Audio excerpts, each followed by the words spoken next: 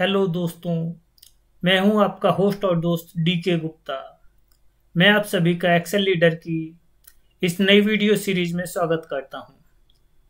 इस video series का नाम है एक्सेल फार्मूलाज इस सीरीज़ के हर वीडियो में हम किसी पर्टिकुलर फार्मूला के बारे में डिटेल में डिस्कस करेंगे।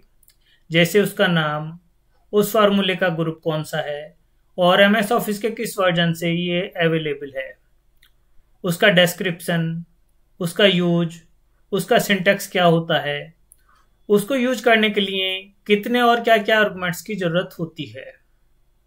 और जो सबसे महत्वपूर्ण बात है, वो है प्रैक्टिस एग्जाम्पल्स के द्वारा उस फार्मूला को यूज़ करना और उस फार्मूला को, उसकी फंक्शनलिटी और यूटिलिटी को अच्छे से समझना। दोस्तों हमारा फॉर्मूला ऑफ़ द डे है L C M L C M तो अपने डिस्कशन शुरू करते हैं एलसीएम के लिए। हमारा नेम ऑफ़ द फॉर्मूला है एलसीएम मैथ्स ग्रुप का पार्ट है। एमएस ऑफ़िस के ये सभी वर्जन में अवेलेबल है।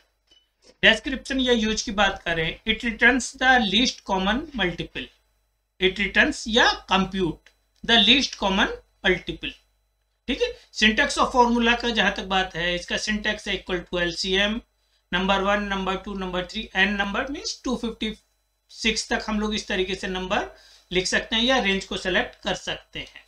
ठीक है? इक्वल टू एलसीएम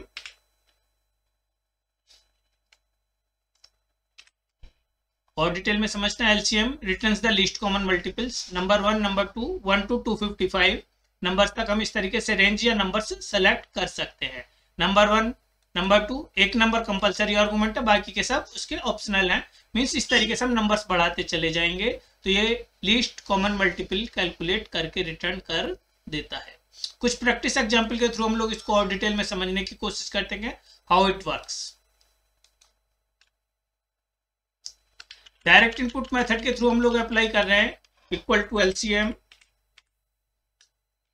और यहाँ पर 150, 154, 2 और 8 इस तरीके से मैंने लिया और इनको करेंसिस को क्लोज करते हुए एलसीएम कैलकुलेट तो इसने अपने आप कैलकुलेट करके हमें रिटर्न कर दिया कि the LCM of these four numbers is 46,200 46,200 हम इसी को एलसीएम को सेल रेफरेंसेस के थ्रू भी यूज़ कर सकते हैं।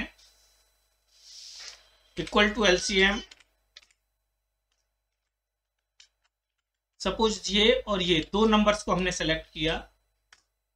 इन दो नंबर्स का एलसीएम इज़ टू अब मैं फ्रीज कर रहा हूँ डी एट को, ठीक है? और फॉर्मूले को कॉपी करता जाता हूँ। सेल रेफरेंसेज हर एक में यूज़ कर रहे हैं। मीन्स अब हम इन तीन नंबर्स का एलसीएम कैलकुलेट कर रहे हैं। तो इनका मल्टीपल कितना आएगा? LCM least common multiple four next eight next means जैसे जैसे हम लोग नंबर बढ़ाते जा रहे हैं, अब हम जो एलसीएम कैलकुलेट कर रहे हैं, वो यहाँ से लेकर के यहाँ तक के नंबर्स का एलसीएम कैलकुलेट कर रहे हैं तो उसका एलसीएम आया 120 तो इस तरीके से ये चेंज होता चला जाएगा। कि अगर हमें कभी भी एलसीएम कैलकुलेट करना है तो हम इस तरीके से काम चला सकते हैं। ठीक है? अब जो ये वन थाउज़ेंड है तो हम लोगों ने एलसीएम कैलकुलेट किया फ्रॉम हेयर टू हेयर तो ये आया थ्री थाउज़ेंड तो एलसीएम किस काम के लिए यूज़ होता है? लीस्ट कॉमन मल्टीपल कैलकुलेट करने के लिए। लीस्ट कॉमन मल्टीपल तो यह था हमारा formula of the day L C M